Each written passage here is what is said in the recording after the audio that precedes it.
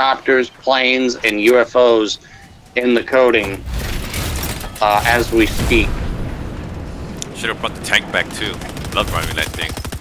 The tank would have been nice, but like I said, the the the Titan's too big. I don't think it's I don't think a tank would matter.